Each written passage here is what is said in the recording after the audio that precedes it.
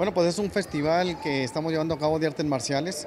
La idea es este, seguir llevando a cabo los programas que tenemos nosotros como director del deporte. Y es un programa de artes marciales donde invitamos a toda la comunidad que practique esta disciplina, academias, escuelas, de tal manera que vengan a hacer aquí una exhibición y que toda la sociedad se den cuenta qué, qué, qué tipo de disciplinas de, artes marciales se practica en la ciudad y que puedan acudir a estas diferentes academias. ¿Para qué? Para escribir a sus hijos o uno mismo también integrarse a una disciplina como esta que es también de defensa personal. Entonces este es un, es un festival que estamos llevando a cabo en la unidad Benito Juárez y que es que el primero de otros que vamos a llevar a cabo.